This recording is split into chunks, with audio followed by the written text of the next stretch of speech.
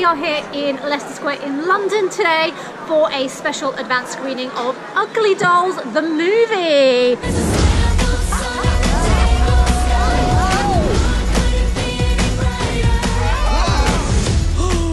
The film is all about an ugly doll called Moxy and her friends as they strive to try and get into the big world and find a child who will love them for who they are. It is all about celebrating difference. Welcome to Uglyville, friend.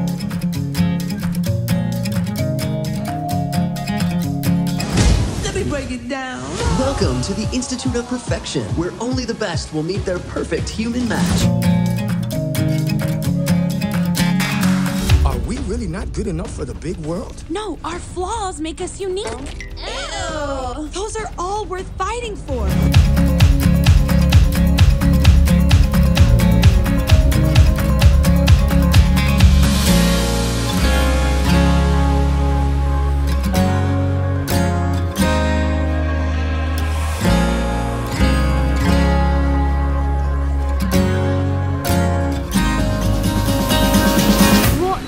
Think the Ugly Dolls film is going to be like?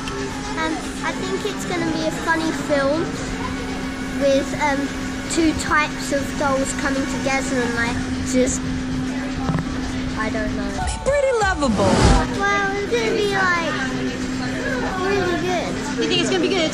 Yeah. All right, we'll go see and then we'll.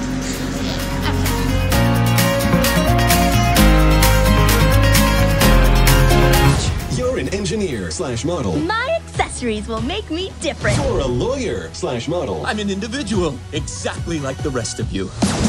You're not a model. Data does not compute. I thought it was a really cool film and it made me cry three times. Who were your favourite characters? Oh, I have a top five. Can to hear them? Yes. Okay, number one was Ugly Dog. Number two was Ox. Number three was Lucky Bat. Number four was Lou. And number five was Moxy. My favourite character was Gibberish Cat. I love literal naming. Isn't that right, gibberish cat? Would you recommend your friends to go and see that film?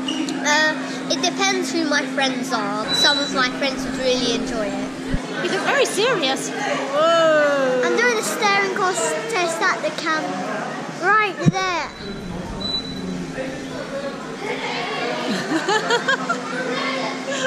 okay, you lose.